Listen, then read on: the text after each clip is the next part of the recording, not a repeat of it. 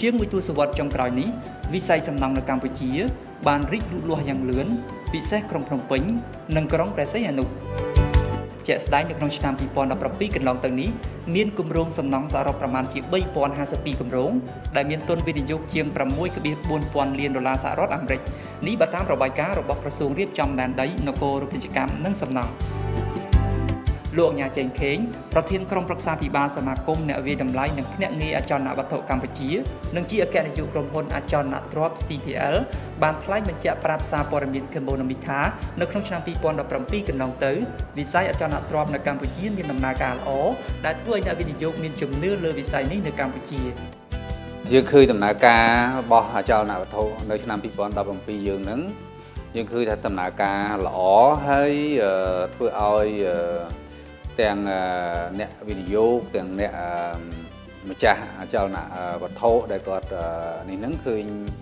គាត់ដូចថាមានជំនឿទៅលើវិស័យចលនវត្ថុយើងហ្នឹងឃើញឃើញថាល្អហើយការទិញការលក់ការអីហ្នឹងគឺដំណើរការបានល្អប្រសើរហើយ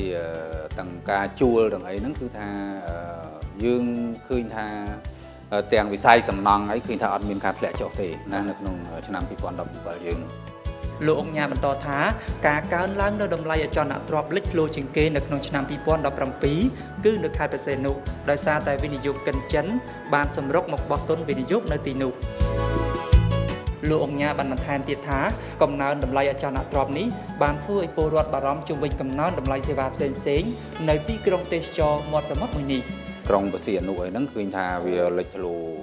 មែនតែនហើយវាធ្វើឲ្យដូចថាអឺតម្លៃមានការកើនឡើងហ្នឹងគឺលក្ខណៈ unexpectable បានន័យថាវាហ្នឹងហើយមិនគួរឲ្យជឿហើយវាឡើងអឺ ខ្លាំងមែនតែននៅឆ្នាំ2017នេះដែលធ្វើឲ្យទាំងអ្នកលក់អ្នកទិញហ្នឹងគឺថាបារម្ភដែលថាថ្ងៃក្រោយហ្នឹងគឺពិបាកក្នុងការទៅកំសាន្តការវិនិយោគពីប្រទេសចិនច្រើនពេកពេលបច្ចុប្បន្នហ្នឹងបាទ តាមពិតទៅចិនគឺជាវិនិយោគិនធំជាងគេបំផុតនៅក្នុងវិស័យសំណង់នៅកម្ពុជានៅក្នុងរយៈពេល17ឆ្នាំមកនេះពលគឺមានគម្រោងចំនួន121គម្រោងដែលគិតជាទឹកប្រាក់មានប្រមាណ72000លានដុល្លារសហរដ្ឋអាមេរិក លោកង៉ែតជូអ្នកជំនាញសេដ្ឋកិច្ចបានអត្ថាធិប្បាយថាការរីកលូតលាស់នៃវិស័យសំណង់នៅកម្ពុជាដូចជាអគារខ្ពស់បូរីខុនដូនិងហេដ្ឋារចនាសម្ព័ន្ធទាំងនៅទីក្រុងភ្នំពេញនិងខេត្តព្រះសីហនុបានបង្កើតការងារដល់កម្មករខ្មែរប្រមាណជាង250,000នាក់នៅក្នុងមួយថ្ងៃយ៉ាងនេះក្តីការវិនិយោគរបស់ចិនក៏បានផ្ដល់ផលអវិជ្ជមានមួយចំនួនផងដែរ ការវិនិយោគនេះយើងមើលមានរូបភាពពីររូបភាពដែលជាលក្ខណៈការវិនិយោគបែបគេហៅថាការអភិវឌ្ឍគម្រោងបែបឯកជន បាទដូចជាអាគារ condo ឬក៏ apartment អីជាដើមហ្នឹងហើយនឹងការវិនិយោគរបៀបជា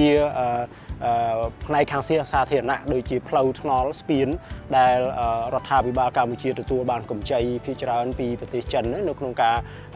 អភិវឌ្ឍហ្នឹងបាទអញ្ចឹងការវិនិយោគក្នុងរូបភាពពីរនេះគឺមានលក្ខណៈហាក់ផែគ្នាត្រង់ថារៀងរាល់បច្ចេកវិទ្យារៀងរាល់ក្រុមហ៊ុនដែលគាត់ជាក្រុមហ៊ុនសាងសង់ កម្លាំងពលកម្មភាគច្រើនអ្នកជំនាញការភាគច្រើន គឺជាជនជាតិចិន បាទជាជាអ្វីដែលបានមកពីចិន បាទវត្ថុធាតុដើមអីជាដើមបាទដូចជាដែកដូចជាសម្ភារៈសំណង់ផ្សេងផ្សេងនេះគឺយើងនាំចូលពីប្រទេសចិនវាផលអវិជ្ជមាននេះគឺយើងមិនសូវបានប្រើប្រាស់វត្ថុធាតុដើមក្នុងស្រុកទេបាទអញ្ចឹងលុយទៅហូរចេញទៅវិញច្រើនបាទ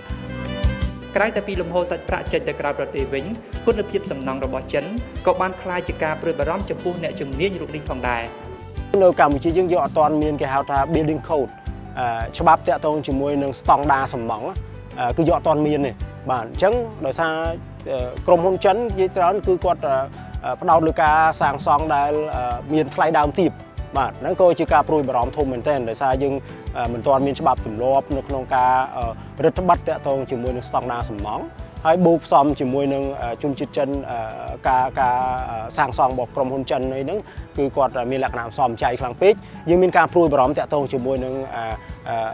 គុណភាពតាក់ទងជាមួយនឹងសុវត្ថិភាពនៃអាគារតាក់ទងជាមួយនឹងបរិស្ថាននៃការរស់នៅអឺទៅ condo អីចឹងណាបាទហើយកន្លែងណាទៅជា